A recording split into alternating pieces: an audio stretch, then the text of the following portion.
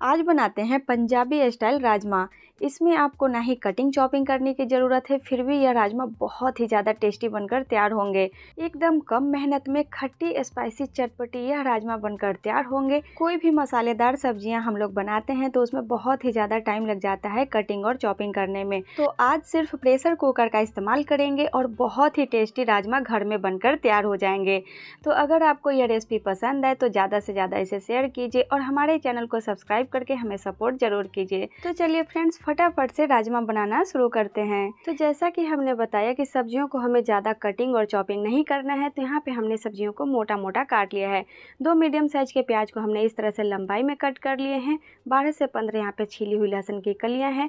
टमाटर को हमने बस दो भाग में डिवाइड कर लिया है। दो टमाटर थे जिसको हमने बस दो टुकड़ों में काट लिया है। और इसके साथ हमने दो इंच अदरक को घीस लिया है और दो हरी मिर्च हमने लिए हैं। तो सब्ज़ियाँ हमारी रेडी हैं तो अब चलते हैं इसे पकाने के तरफ़। तो गैस पे हमने एक प्रेशर कुकर गर्म होने रखा है। यहाँ पे डालेंगे तीन से चार टेबल स्पून सरसों का तेल। सरसों के तेल में ही सब्ज़ियाँ अच्छी बनती है, लेकिन आप जो कुकिंग ऑयल इस्तेमाल करते होंगे वही लें। जैसे ही ऑयल अच्छे से गर्म हो जाएँगे, तब यहाँ पे आधा चम्मच साबुत जीरा, एक दालचीनी का टुकड़ा, एक बड़ी इलायची, दो छोटी इलायची, दो लवंग और एक तेज पत्ता को हमने यहाँ पे डाल दिया है। अब इसे कुछ सेकंड के लिए पका लेंगे, जिससे इनका कच्चापन निकल जाए। और अब यहाँ पे डालेंगे प्याज। प्याज को हमें ज़्यादा पकाना नहीं है बस एक से डेढ़ मिनट के लिए इसे कुक करेंगे। बस प्याज का कलर चेंज हो जाए, इतना ही हमें प्याज को पकाना है। तो यहाँ पे देखिए, प्याज का कलर चेंज हो गया है। तो राजमा का कलर बहुत ही अच्छा दिखने के लिए यहाँ पे डाल देते हैं सबसे पहले आधा चम्मच हल्दी पाउडर, एक चम्मच काश्मीरी लाल मिर्च। इससे कलर बहुत ही बढ़िया आते हैं। और थोड़ा सा यहाँ पे डाल देते हैं स्पाइसी वाली लाल मिर्च का पाउडर। अब इसे भी प्याज के साथ अच्छे से एक बार मिक्स कर लेंगे। और इन मसालों को डालते समय गैस का फ्लेम लो कर दें, नहीं तो मसाले बहुत ही जल्दी जलने लगते हैं। तो अब यहाँ पे डाल देते हैं छिली हुई लहसुन की कलियाँ और इसके साथ यहाँ पे डाल देते हैं अदरक को भी। और थोड़ा सा यहाँ पे मैं धनिया का डंठल डाल रही हूँ, इससे फ्लेवर बहुत ही बढ़िया आते हैं, अगर है तो ज़रूर डालें। अब इसे अच्छे से मिक्स कर लें। तो यहाँ पर आप देख सकते हैं फ्रेंड्स, सभी चीज़ें अच्छे से मिक्स हो गए हैं। तो अब यहाँ पर डाल देते हैं टमाटर। टमाटर के साथ ही डाल देते हैं स्वाद के अनुसार नमक जिससे टमाटर टमाटर बहुत ही जल्दी सॉफ्ट हो जाते हैं और साथ ही आधा चम्मच धनिया पाउडर अब इन सबको अच्छे से मिलाने के बाद अब यहाँ पे डालेंगे वन बाई फोर्थ कप पानी। यहाँ पे ज़्यादा पानी न डाले। अब प्रेशर कुकर का ढक्कन बंद करके इसे मीडियम टू हाई फ्लेम पे दो सीटी आने तक कुक करेंगे। तो यहाँ पे दो सीटी लग गई है और देखिए टमाटर बहुत ही अच्छे से सॉफ्ट हो गए हैं और टमाटर के साथ ही सभी चीज़ें भी अच्छे से सॉफ्ट हो गए हैं। मैं आपको दिखाती हूँ। तो अब यहाँ पे टमाटर के स्किन को निकाल लेंगे और देखिए बहुत ही अच्छे से सभी चीज़ें गल गए हैं। मैं आपको लहसुन दिखाती हूँ। देखिए, लहसुन भी बहुत ही अच्छे से गल गए हैं। आपको देखकर समझ में आ रहे होंगे। अब जो हमने खड़े मसाले ऑयल में डाले थे, उसे निकाल देंगे। अब इसका काम बिल्कुल भी नहीं है। ये अपना फ्लेवर ऑयल में छोड़ दिए हैं। जब यह खाने के टाइम मिलेंगे तो बिल्कुल भी अच्छे नहीं लगते हैं। अब इसे अच्छे से मैश करेंगे और यहाँ पे गैस का फ्लेम हाई कर देंगे और हाई फ्लेम पे इसे अच्छे से भूनेंगे। अगर आप स्टार्टिंग में ज़्यादा पानी डाल देंगे तो मसाला को फ्राई करने में आपको ज़्यादा समय लगेंगे। और देखिए, यहाँ पे मसाले रेडी हो गए हैं। किनारों पे ऑयल भी दिखने लगे हैं।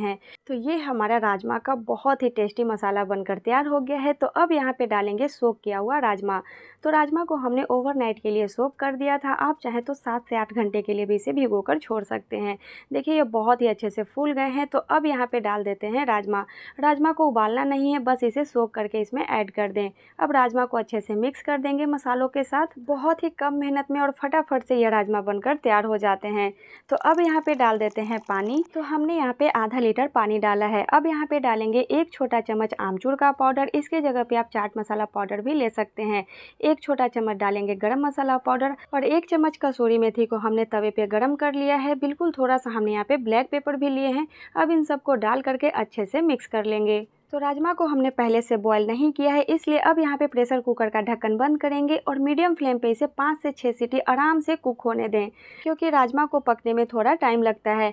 और जैसे ही छः सीटी लग जाएगी तो प्रेशर कुकर को अच्छे से ठंडा होने दें, इसके बाद ही इसे खोलें तो देखिए, ये हमारा बहुत ही ज़्यादा टेस्टी राजमा बनकर तैयार हो गया है। तो अब यहाँ पे डाल देते हैं खूब सारा धनिया पत्ता।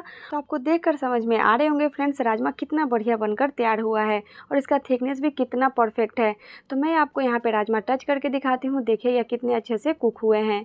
तो देखिए, हल्के हाथों से ही दबाने से ये अच्छे से मैश हो जा रहे हैं। तो ये हमारा बहुत ही ज़्यादा स्पाइसी चटपटा राजमा बनकर तैयार हो गया है। तो चलिए इसे जीरा राइस के साथ सर्व करते हैं। तो आपको फ्रेंड्स यह रेसिपी कैसी लगी मुझे कमेंट करके ज़रूर बताइएगा और इस रेसिपी को आप कहाँ से देख रहे हैं ये भी हमें ज़रूर बताइएगा। इससे मुझे बहुत ही ज़्यादा मोटिवेशन मिलता है। तो इस राजमा को बनाने में सिर्फ़ प्रेशर कुकर का इस्तेमाल हुआ है और बहुत ही कम मेहनत में, बहुत ही कम समय में यह राजमा बनकर तैयार हो जाते हैं। तो अगर आपने राजमा इस तरह से ट्राई नहीं किया है तो एक बार ज़रूर ट्राई कीजिए, इसका टेस्ट आपको बहुत पसंद आएँगे। और अभी तक आपने फ्रेंड्स मेरे चैनल को सब्सक्राइब नहीं किया है तो सब्सक्राइब कीजिए, साथ ही बेल आइकन को भी प्रेस कीजिए। जिससे हमारे वीडियोज़ के सारे नोटिफिकेशन आपको मिलते रहेंगे। तो मिलती हूँ आपसे इसी तरह की एक और मज़ेदार रेसिपी के साथ। तब तक के लिए अपना ख्याल रखिए। Good bye